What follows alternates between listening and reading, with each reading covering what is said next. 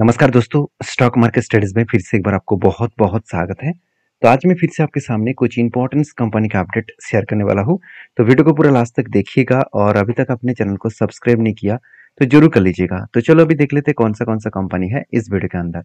First जो company है, जिसके बारे में चर्चा करूँ, उसका नाम आप देखेंगे, उसका नाम है पराग मिल फूड्स लिमिटेड तो पराग मिल फ़ूड लिमिटेड के बारे में मुझे एक सर ने कमेंट्स किया था कि इसके ऊपर एक वीडियो बनाने के लिए। सर, मैं माफ़ी चाहता हूँ, बहुत टाइम लग गया। चलो, आज मैं इसके ऊपर डिस्कशन करूँगा। तो पराग मिल्स के ऊपर मेरा क्या व्यू है? और मेरा एक ट्रेड बना था। फाइनली अभी ट्रेड अचीव नहीं हुआ। क्यों अचीव नहीं हुआ, उसके बारे में भी जानकारी दूँगा। तो कहाँ पे मेरा ट्रेड एक्टिव होगा और किस तरीके से मैं इस ट्रेड को प्लान किया हूँ, सब कुछ इस वीडियो के अंदर डिस्कशन करूँगा। सबसे पहले बता दूँ कंपनी का वैल्यूएशन मुझे सस्ते में ही देखने को मिला है। हाँ रिक्सी कंपनी है 2000 करोड़ के आसपास मार्केट कैप है। एक रिक्सी कंपनी तो ज़रूर है। फिर भी रिक्सी कंपनी के ऊपर एक पॉइंट हमेशा मैं आपको बोलता रहता हूँ। अगर अपनी सही तरीके ढूंढ, सही कंपनी को ढूंढ लिया जहाँ पे रिक्स तो है ही। साथ ही साथ कंपनी का फ्यूचर का ग्रोथ अच्छा है कंपनी का बिज़नेस अच्छा है तो सोचिएगा उस कंपनी आपको अच्छा खासा ग्रोथ दे सकते हैं। हाँ कंपनी का थोड़ा सा डेप ज़्यादा है। कंपनी डेप को मेंटेनेंस करने के बाद भी इनकम भी कर रहा है और कंपनी के आर ओ सी आर दोनों ही एवरेज लेवल के आसपास है। अभी मज़ेदार बात आपको बता दूँ कंपनी के जो क्वार्टर रिज़ल्ट है, जो इस बार शेयर में गिरावट का मेन कारण है मतलब अभी करंट देखा है तो शेयर में एक बिग फॉल देखने को मिला है तो इसके पीछे मेन रीजन है कंपनी का क्वार्टर रिज़ल्ट अगर देखेंगे कंपनी के पिछले बार का जो सेल्स था, वो 800 करोड़ था, वो इस बार घट के हो चुके सात सौ नब्बे करोड़। पिछले क्वार्टर्स में भी कंपनी का 800 करोड़ का सेल्स था। मतलब सेल्स में थोड़ा सा चेंजेस आया। देखिए, आप आप कहेंगे, सर 10 करोड़ का ही तो सेल्स कम हुआ तो इसमें क्या खास बात है? देखिए, एक स्मॉल कैप टाइप कंपनी के ऊपर 10 करोड़ का सेल भी बहुत महँगा पड़ जाते हैं। हाँ अगर एक कोई ब्लू चिप टाइप कंपनी होता, जहाँ पे 10 10 करोड़ का टोटल सेल्स कम होता तो कोई बात नहीं।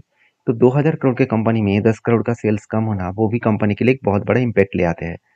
तो कंपनी के एक्सपेंस को कंपनी देखिए कंपनी के एक्सपेंस थोड़ा ज़्यादा हो चुके हैं और उसी के चलते ही कंपनी का जो नेट प्रॉफिट है, वो कई हद तक यहाँ पे कम हो चुके हैं। मतलब पिछले साल में सिर्फ़ 22 करोड़ का प्रॉफिट हुआ था, मगर इस बार कंपनी का प्रॉफिट 10 करोड़ के आसपास पहुँच चुके हैं। मतलब 10 टाइम्स कंपनी का प्रॉफिट कम हो चुके हैं। Sorry fifty fifty time, fifty percent का कंपनी कंपनी का प्रॉफिट कम हो चुके हैं। तो ऑब्वियसली इस तरीके से सिचुएशन में शेयर में तो एक बिग फॉल देखने को मिलेगा ही। और रिज़ल्ट आने से पहले ही कंपनी के ऊपर जिस तरीके से फॉलिंग सिचुएशन देखने को मिला था, उसका अंदाज़ा लग गया था कि कंपनी के रिज़ल्ट खराब आने वाले हैं। तो अभी क्वेश्चन ये है कि कंपनी के रिज़ल्ट तो खराब खराब आया। चलो, कोई बात नहीं कंपनी के शेयर में भी गिरावट हो रहा है। तो अगर गिरावट हुआ तो कहाँ तक हो सकते हैं? तो एक बिग क्वेश्चन मार्क है। वो मैं आपको टेक्निकली चार्ट पैटर्न में समझाऊँगा। मेरे क्या व्यू है, वो मैं आपको शेयर करूँगा। देखिए, मेरे व्यू है, इसका मतलब ये नहीं कि वही तक जाएगा, उससे नीचे नहीं जाएगा, उसके ऊपर नहीं जाएगा, ऐसे होगा नहीं।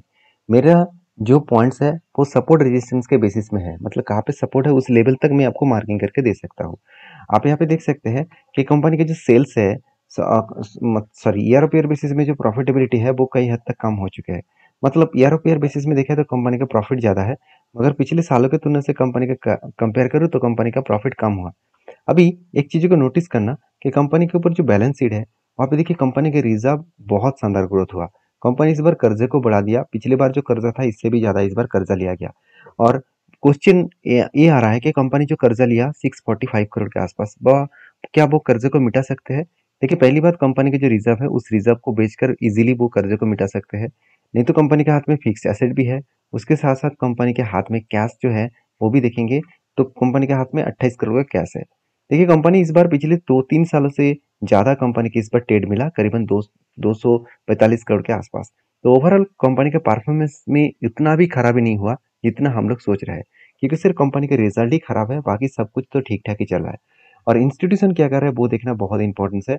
अगर इंस्टीट्यूशन के बारे में बात करो, आप खुद ही देख सकते हैं। म्यूचुअल फंड ने पूरा का पूरा माल बेच दिया। मतलब पूरा का पूरा मतलब point five six percent holding था। अभी पॉइंट ज़ीरो सेवन परसेंट के आसपास होल्डिंग हो चुके हैं। अभी एफएस के पास होल्डिंग पहले जितना था बारह परसेंट, तेरह परसेंट, आज वो घट के नौ परसेंट के आ चुके हैं। मतलब कुछ क्वांटिटी यहाँ पे बेचा गया। तो इसका मतलब ये नहीं कि कंपनी खराब हो गया, क्योंकि कंपनी रिक्सी कंपनी है तो इसलिए इंस्टीट्यूशन तो माल बेचेंगे ही।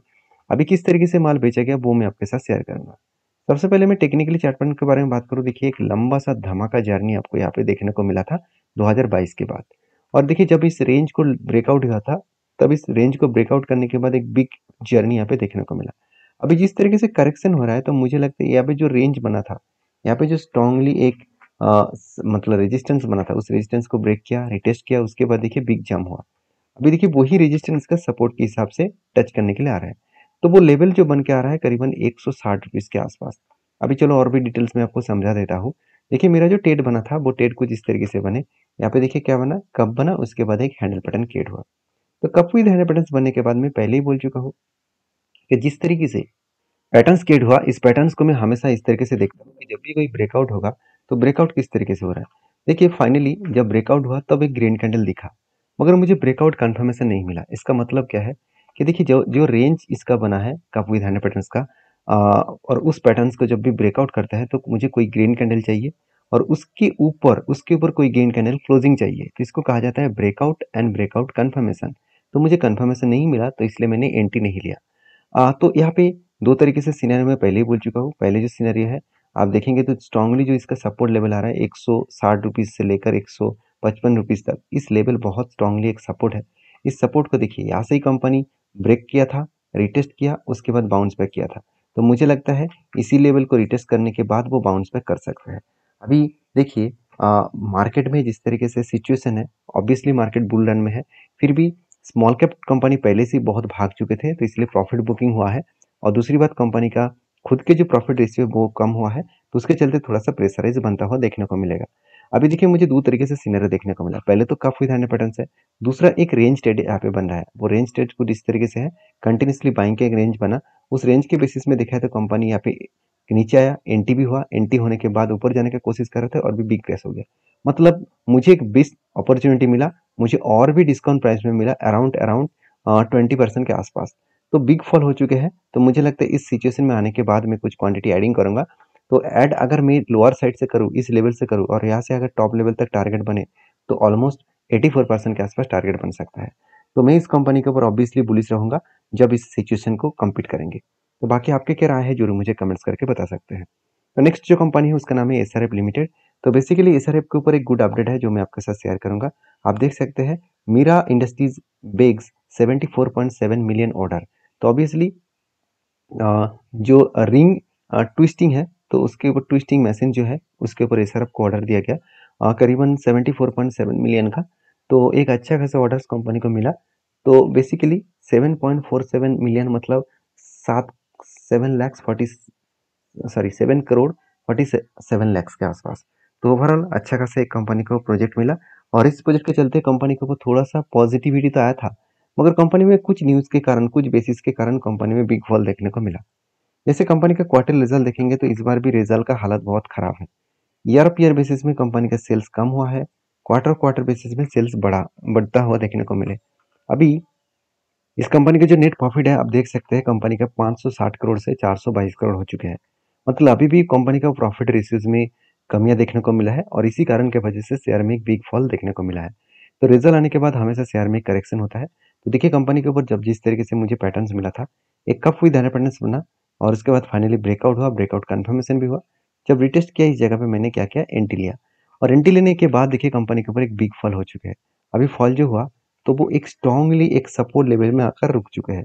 वो स्ट्रांगली सपोर्ट लेवल क्या है? ये जो लाइन जा रहा है, इसको स्ट्रांगली एक सपोर्ट लेवल कहूँगा। क्यों? क्योंकि देखिए बार बार यहाँ पे एक बार टच किया, यहाँ पे एक बार टच किया, उसके बाद इसको ब्रेकआउट करने के बाद रिटेस्ट किया, उसके बाद देखिए बाउंस बैक किया था। मतलब यही लेवल को वो टच करके यहाँ से बाउंस बैक कर सकते हैं। दो तरीके से सिनेरियो बन सकते हैं। यहाँ से ऊपर भी जा सकते हैं यहाँ से नीचे भी आ सकते हैं। अगर नीचे आए तो कहाँ तक आने का चांसेस है? करीबन करीबन देखा जाए तो दो हज़ार रुपीज़ के आसपास आने का चांसेस रहेगा। बाकी आपके क्या राह इस कंपनी के ऊपर, ज़रूर कमेंट्स करके बताना।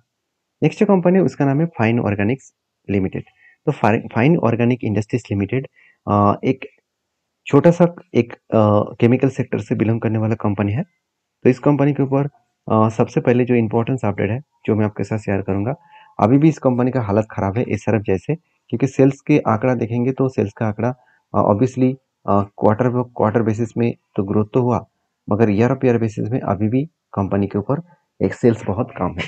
अभी सेल्स कम है कंपनी का एक्सपेंस कंपनी मेंटेन किया, और उसके बाद कंपनी का नेट प्रॉफिट इस सालों में कंपनी का ईयर ऑफ़ ईयर बेसिस में कंपनी का नेट प्रॉफिट थोड़ा सा कम है, मगर क्वार्टर बेसिस में कंपनी के ऊपर शानदार तरीके से नेट प्रॉफिट दिखा।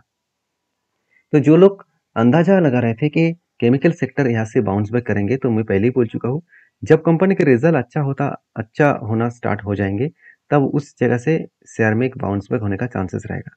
तो फाइन ऑर्गेनिक के ऊपर जो सिचुएशन अभी बना है, उसके बारे में बात करूँ तो मैं एक बार फाइन ऑर्गेनिक के चार्ट पैटर्न दिखा देता हूँ, आप देख सकते हैं किस तरीके से सिचुएशन बना।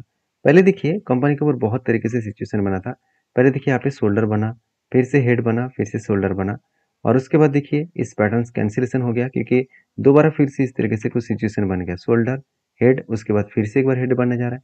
तो सिचुएशन को समझिए कंपनी बार बार क्या कर रहा है? इसी लेवल को रिटेस्ट करने के लिए आ रहा है। ये लेवल कंपनी का स्ट्रांगली लेवल है। जब भी इस लेवल के आसपास आ रहे हैं, वहाँ से बाउंस बैक कर रहा है। तो वही लेवल को टच किया मतलब यहाँ से भी बाउंस बैक करने का चांसेस है। अगर ऊपर गए तो कहाँ तक जाने का चांसेस है? फाइव ज़ीरो फाइव सिक्स के आसपास। तो मैंने कोई ट्रेड नहीं लिया। मैं सिर्फ़ इसको स्टडी कर रहा हूँ क्योंकि इस कंपनी के ऊपर अभी फ्रेश एंट्री तब लूँगा जब मुझे क्लियर कट एक, एक स्ट्रैटेजीज मिलेगा। तो उसके लिए मैं इंतज़ार करूँगा और आपके क्या राय है ज़रूर मुझे कमेंट्स करके बता सकते हैं। नेक्स्ट जो कंपनी है उसके बारे में बात करूँ उसका नाम आप देखे देख सकते हैं हिंदुस्तान पेट्रोलियम कॉरपोरेशन मतलब एच पी मतलब एच पी सी एल जिसके बारे में बात करूँ हिंद पेट्रो इसके ऊपर गुड अपडेट है। Company one is to two ratio के यहाँ पे फिर से एक बार बोनस देने जा रहा है और इसका डेट भी अनाउंसमेंट हो चुके हैं। Twenty fourth of June. तो twenty fourth of June company आपको बोनस देने जा रहा है। तो इस डेट को याद रखना और जो लोग बोनस पाना चाहते हैं, एक बार इस कंपनी के ऊपर रिसर्च करना, उसके बाद काम करना। वीडियो में सारी जानकारी एज एजुकेशन पर्पज में दिया गया है। किसी भी कंपनी के ऊपर मेरे तरफ़ से बाय एंड सेल का रिकमेंडेशन नहीं है।